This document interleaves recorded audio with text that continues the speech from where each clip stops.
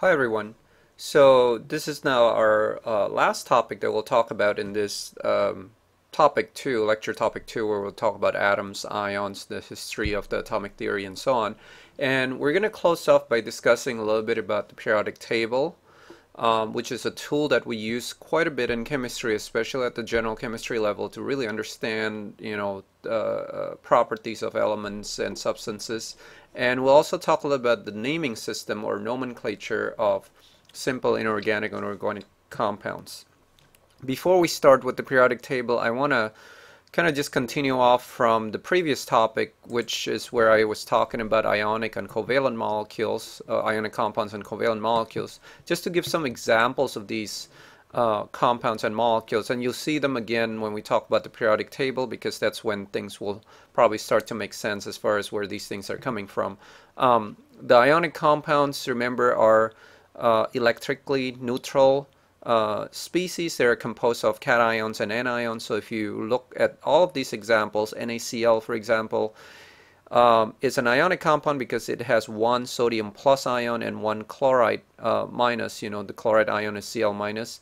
And then MgF2, magnesium fluoride, is a um, ionic compound because it has one uh, Mg2 plus ion and two F minus ions. This is the called the magnesium ion. This is called the fluoride ions. Uh, Li2SO4 is an ionic compound because it has two Li plus ion, the lithium ion, and then one sulfate ion, which is the anion here, and that's a polyatomic ion.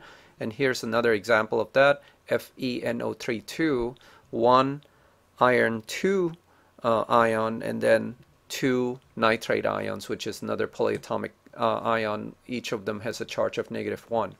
Covalent molecules, remember I said uh, in the previous video that this is going to be a combination of non-metal um, elements on, this, uh, on the right side of the periodic table. So things like SO2, which is called sulfur dioxide, NH3, ammonia, H2O, water, P2O5, um, diphosphorus pentoxide. All of these are examples of covalent molecules. If you look at the periodic table, which we'll talk about in a second, they are all located on the right side of periodic table. So I just want to get started with this, you know, as a way to to uh, connect the previous section talking about ionic and covalent uh, compounds with the periodic table, which we're going to start off right now.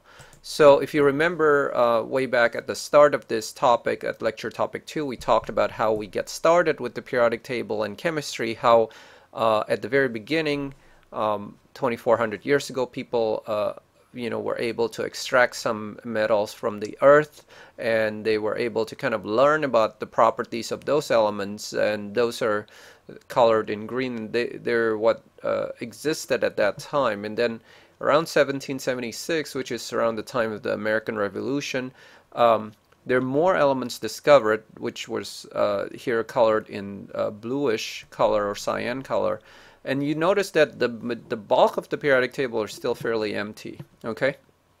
So we came to around, uh, would say about 1800s or so, about mid 1800s. Since between the uh, mid to late uh, 1700s to the mid 1800s, a lot of discoveries in chemistry were happening. That's kind of like the the golden times of chemistry, and people started to discover a lot more elements. And you can see that almost uh, you know the modern periodic table is uh, almost there you know we're missing about three of those uh, three three rows or so um, uh, of um, uh, elements but you know uh, then there's some empty empty ones here but at that point quite a few stuff was discovered already. Okay quite a few elements were discovered already.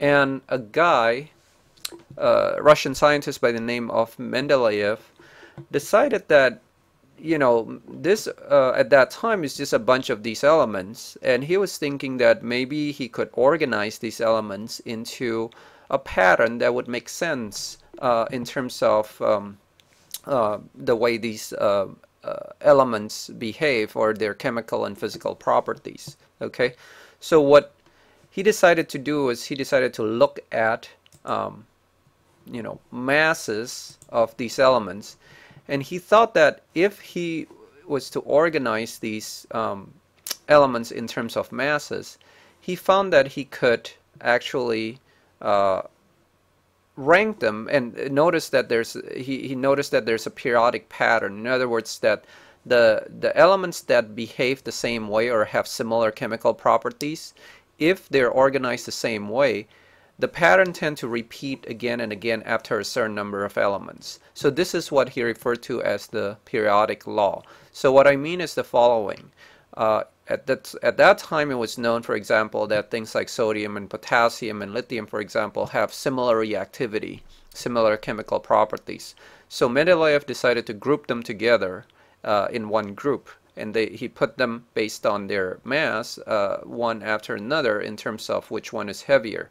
And he was able to notice that when he organized them that way that the other elements if they organize they're organized based on uh, chemical properties tend to have that repetition as well. So you tend to see elements going a certain way and then repeating the next element would come that sodium which is a similar property with lithium would repeat after a certain number of elements in this case two elements and then eight and then eight and then 18 and so on.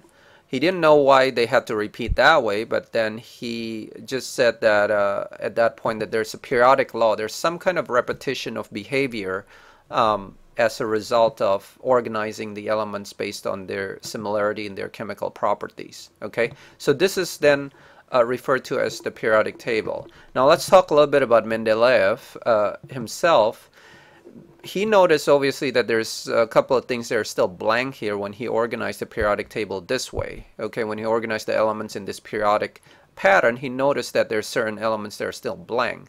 So then what he did was he predicted what these elements should be. Okay, so imagine that at that time these elements were not known, right? Nobody knew that there's supposed to be something here. But he said that based on, you know, the way I organize these elements, there has to be something here, both of these things that fill up this empty uh, blocks right here, there has to be elements here. So he predicted the existence of these elements before they were discovered.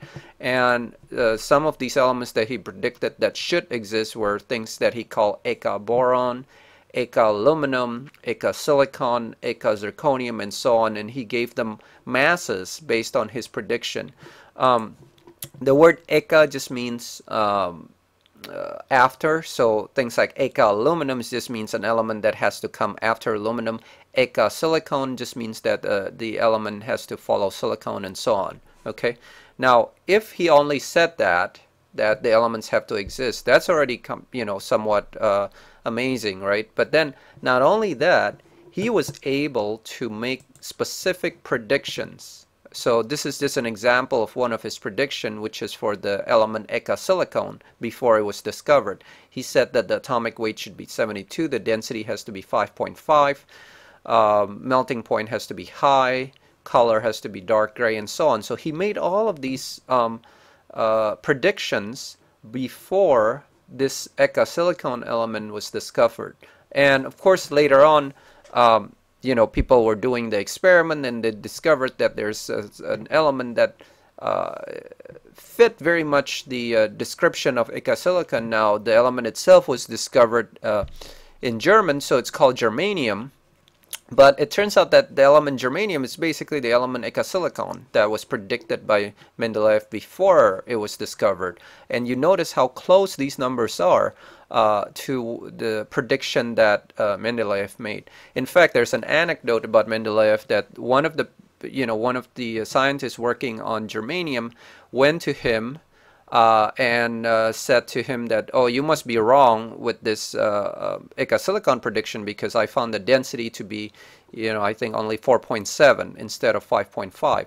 And what he said to that scientist was that, no, you, you know, you must be wrong. You have to go back and retest your experiment. And true enough, when that uh, scientist went back and tested his experiment, he found that the density was actually quite a bit higher than what he originally um, uh, what he originally uh, told Mendeleev. So this is the conviction of Mendeleev in terms of his uh, uh, you know theory. He really believed that he was you know onto something, and he was uh, you know uh, strong enough to to make a prediction and then uh, want you know want to challenge the experimentalists okay I want to make sure again that here's a good time to kind of go back to that idea of theory and experiment and the difference between hypothesis and in scientific sense and the you know type of prediction we generally make when we talk about it every day So here's a, a, a, you know Chinese zodiac. Okay, so you can open any kind of magazine. Uh, a lot of times at the back section or even newspapers, there's these prediction about you know this you can use either uh, Western zod you know Western astrology or you can use Chinese zodiac in this case. But they make some predictions about how things are gonna turn out for you for that day, or for that week, or for that year, or for that month. These predictions are not specific. Okay, they don't really. They're very general. It says people born in this year are dependable and calm. Okay, that's a very general prediction. Okay, so some of the people might be dependable and calm, some people not. Okay, so these type of predictions are really not testable and they have no value whatsoever. But something like what Mendeleev said is something you can test. You can go and see is the density of Eka silicon 5.5 grams per cubic centimeter or not. And that's the uh, difference between a scientific prediction versus something like uh, a prediction that is not based on science. Okay, so I want to mention here the uh, periodic pattern that uh, uh you know is observed uh, uh, in the periodic table. So earlier Mendeleev grouped these elements in the periodic table based on similarities in properties, and what you notice is that these patterns exist for many, many different properties, both chemical and physical. So, for example, melting point, if you look at melting point, which is a physical property, and if you plot that, this is a melting point of the elements plotted against the element type here uh, at, on the x-axis, you notice that for helium, hydrogen, helium is here, and then you notice that for li from lithium all the way to uh, fluorine, you have some kind of a pattern coming down, right? Up and down. And then that pattern is repeated again on the third uh, row of the periodic table when you go from sodium down to argon. Okay, so that's what I meant earlier by this repeating pattern. So you have this pattern right here, like a triangle pattern, for example. That triangle pattern is repeated again, and it's going to be repeated again and again as you go to uh, more and more elements. And that's what Mendeleev discovered, was he discovered this pattern, uh, which he called the periodic law.